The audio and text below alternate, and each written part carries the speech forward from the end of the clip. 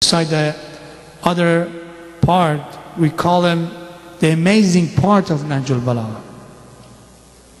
Imam Ali start this very beautiful hikmah with this word, كَانَ لِي فِي مَا مَضَىٰ أَخٌ فِي اللَّهِ In past, I had a brother. And our connection, our relationship was based on Allah.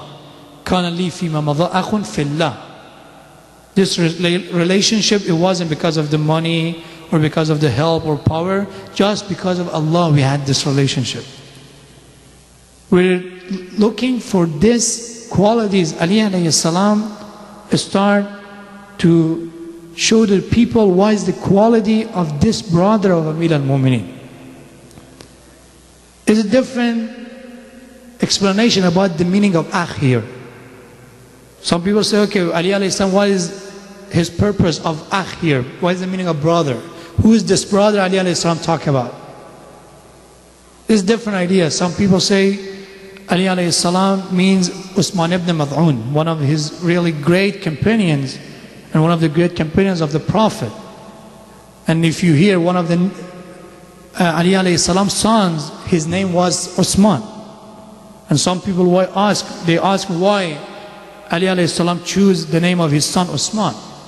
And all of the people they believe because of the one of his friends and one of the closest companion of the Prophet and one of the, his closest companion Usman ibn Mad'un, not Usman ibn Affan, the third Khalifa. That's the reason, because he was a really great person and he has a great personality. Ali alayhi salam choose the name Usman for his son. Some scholars they believe the means of akh here is Usman ibn Mad'un. The other idea is it was the means the meaning of Uh, akh and brother here re refers to Ammar, Ammar Yasir. The third idea is more powerful and you can more trust the third idea is the meaning of akh here is not a specific person. When Ali alayhi salam said, I had a brother in past, he's not trying to say really it was a person. He's trying to give people a role model. He tried to give people an example what kind of person he can be a brother, a close friend to Ali alayhi salam. I think is enough to talk English or no, we continue in English. Yes, salawat.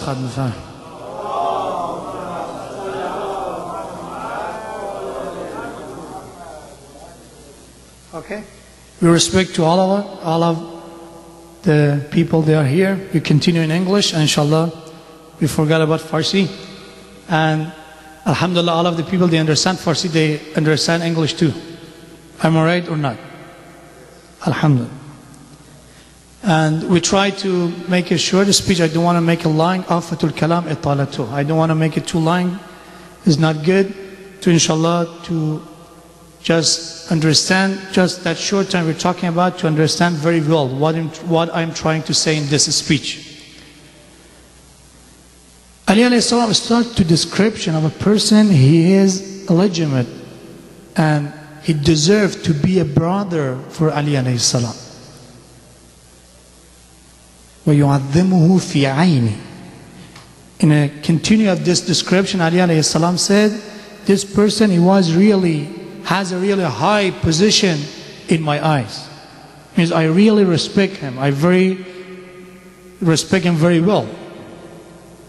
Why? Ali alayhi salam start to count 14 quality for this person. What is the quality for brother of Ali alayhi salam. كان لي في مضى أخ في الله. what is this quality for being a brother of Ali alayhi salam? Before we start to this topic, I just want to continue about the part of the monotheism, about the practical monotheism. Alhamdulillah Rabbil Alameen, all of us, we believe Allah is one, La ilaha illallah, because that's the entrance of Islam. When a person wants to convert to Islam, the first thing he or she should say is saying La ilaha illallah. There is no God but God. وأشهد أن محمد رسول الله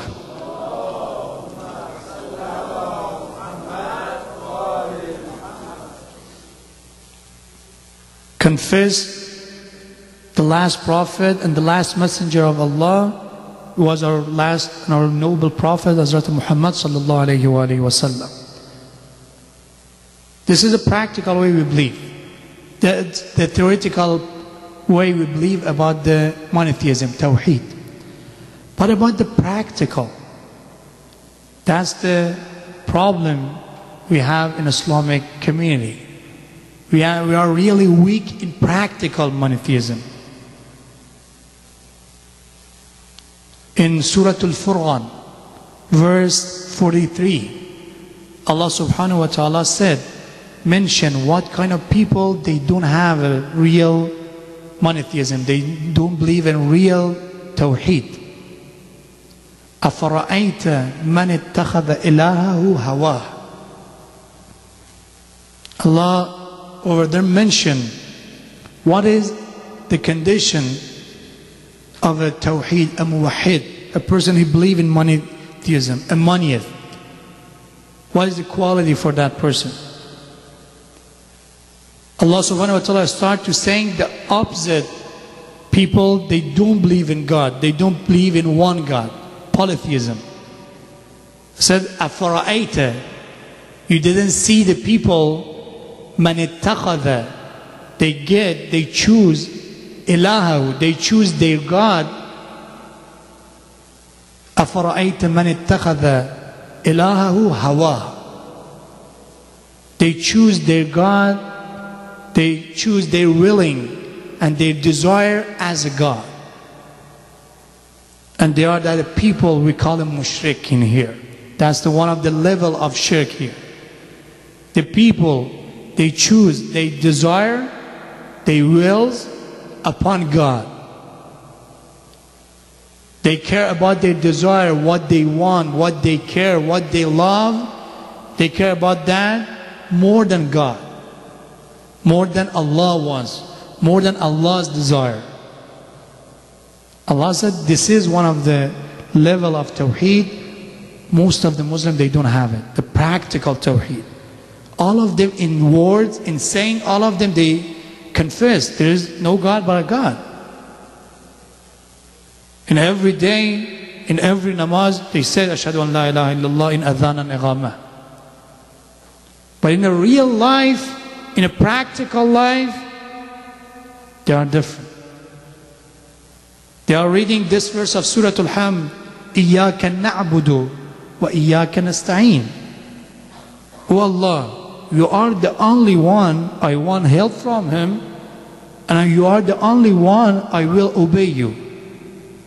You're only the person you can tell me what I should do. But when they come to the real life, they forgot about this verse. They listen to their hawa, their nafs, their desire, their wills. First, what He wants, and after that, come to Allah, what Allah wants. I give a lot of people, example of lots of people in all of the history of Islam. If they were really believe in one God, if they were really muwahid, we, we, we never have this problem.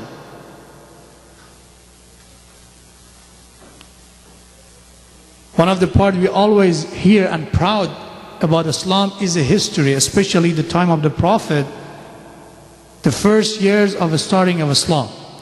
Islam began in Saudi Arabia. We're always proud of that moment and that history, that part of the history of Muslims.